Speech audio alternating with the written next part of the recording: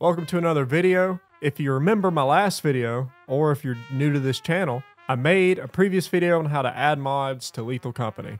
The bigger mod lobby to be exact. And I've been getting a few comments saying that it's not working for them. I'm not sure exactly why. It could be an outdated method. I'm not sure. But I do know that Thunderstore Mod Manager now accepts Lethal Company. You can now search in the mod manager and find Lethal Company. So if you're unfamiliar with this app, I'm going to show you how to use it.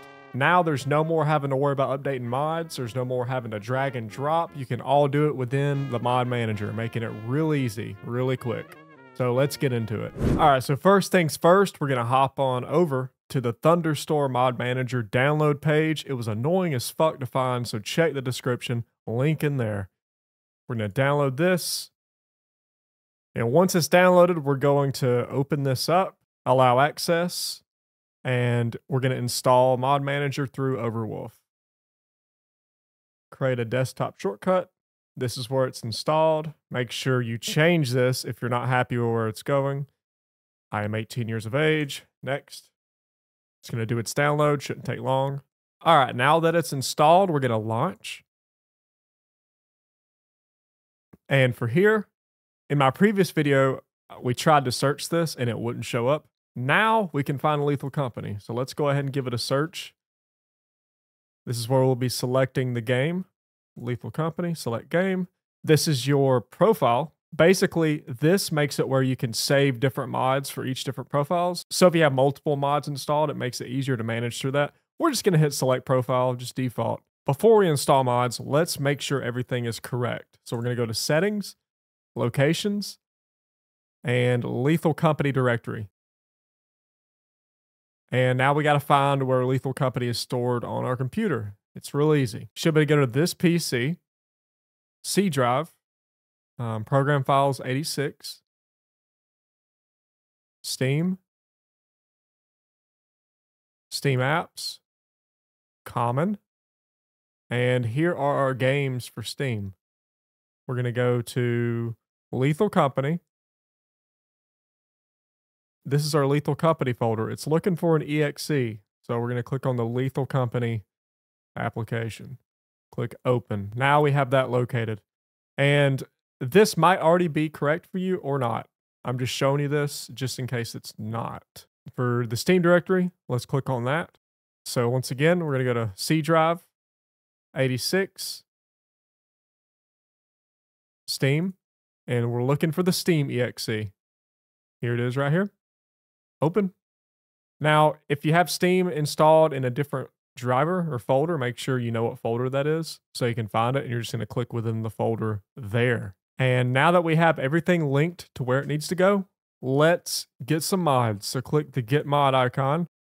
And I guess we'll do the same mods as the last video. We'll do bigger lobby. Let's just search bigger lobby. All right, here we go. By Bizzlemip.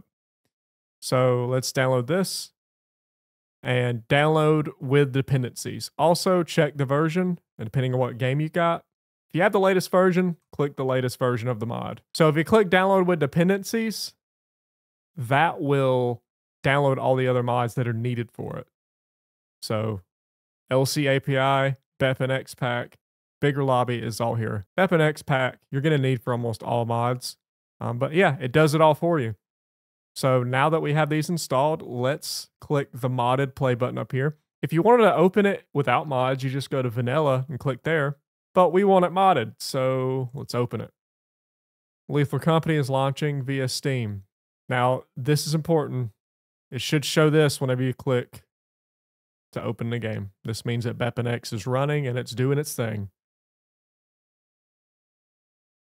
And the game's opening.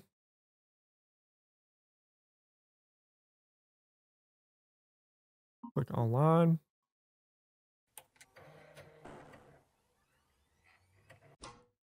Check down here, see V40 mod. Looks like it's working. Let's join a crew. Yep, so here, 2 out of 20 players. Yep, it's all showing up. I don't have 20 friends to test this out with, but at least we know it's working on the server list. So that's how you install mods. Um, and again, we can get more mods too. It doesn't matter. In the video I made a couple days ago, I used Game Master.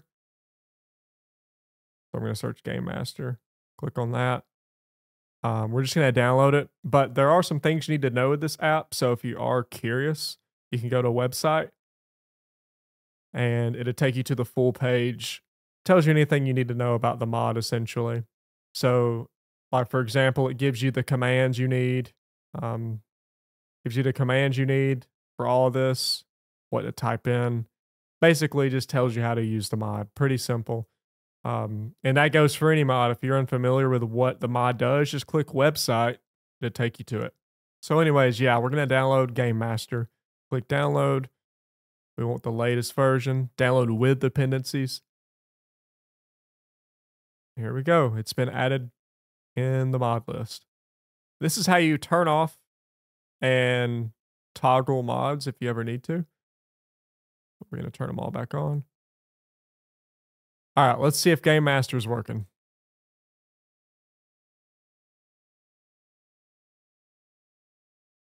Well, once the game's open, let's follow the prompts, go to online, click through that. Version 40 mod looks like it's working. Let's host a game because you have to be a host to use most of the Game Master's functions. We'll just go to file 3. Now again, the process I showed you works with any mod as long as it's on the Thunderstore website. So you can add as many mods as you want. Okay, let's see if this works. What the fuck? My ship's a little wonky right now. I don't know why. I'm gonna land the ship. Oh, let's see if the mod works.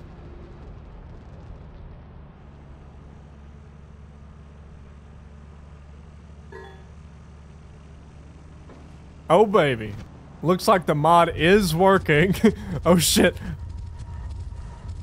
Alright, so let's talk about the edit config section. So some mods that you download are going to have a configuration that you can edit. So for example, Game Master here that we downloaded, we can go to edit config. And it just makes a real simple UI for you to change configuration settings. Now, a lot of mods may have a configuration setting. You just need to check and see. For example, for Game Master, there's things like natural enemy spawn. You can change that. Um, spring head, you can change the speed of different mobs. Um, there's a lot of stuff you can, you can edit. So that's where you find your configuration settings for your mods. If you found this video helpful, make sure you hit that subscribe button. Our goal is 500 at the moment.